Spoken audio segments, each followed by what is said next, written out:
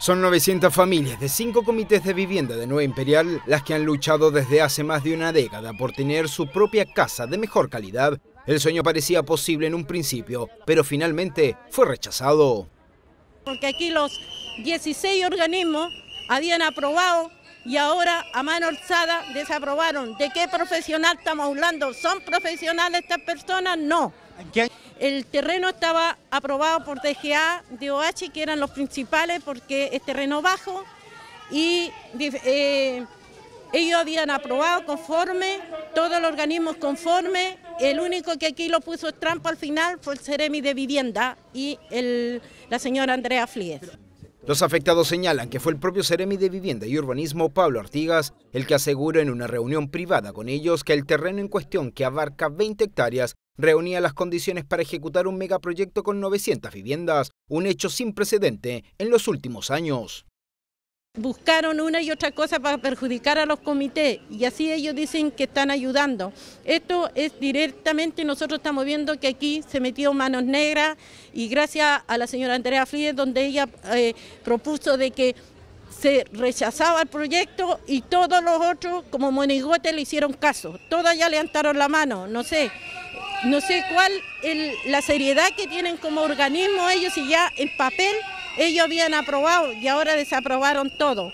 El sueño hoy se fumó por completo para las 900 familias quienes no aceptaron una de las propuestas del MIMBU de realizar una primera etapa de 200 viviendas en casi 5 hectáreas. Los nueve ministerios que integran el Servicio de Evaluación Ambiental votaron contra una iniciativa donde habrían intereses privados por debajo de la compra del terreno. Y este grupo de familias está perfectamente, ¿no es cierto?, eh, posibilitada para incorporarse en esta superficie de 4,7 hectáreas.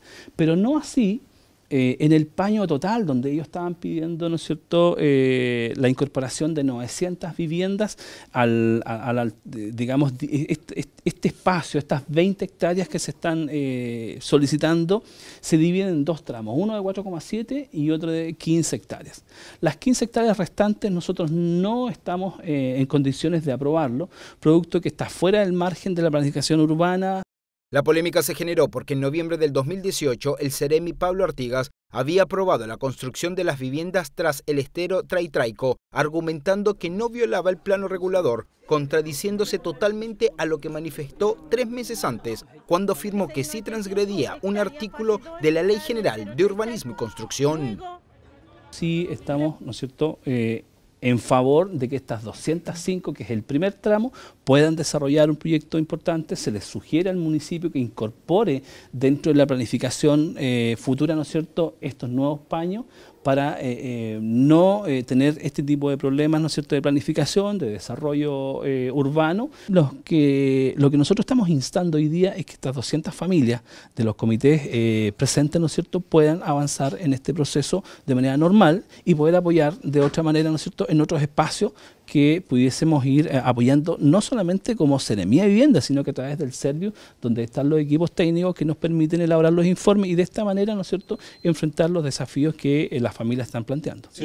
Los ministerios de Salud, Economía, Energías, Obras Públicas, Agricultura, Vivienda, Transporte, Desarrollo Social y Medio Ambiente fueron quienes negaron la ejecución de un megaproyecto que no es viable por las condiciones que tiene el sector, el cual sufre reiteradas inundaciones afectando a las poblaciones aledañas.